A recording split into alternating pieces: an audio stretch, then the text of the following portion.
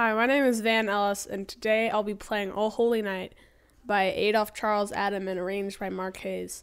Um, what I want for Christmas is a new water bottle and a dog. Yeah.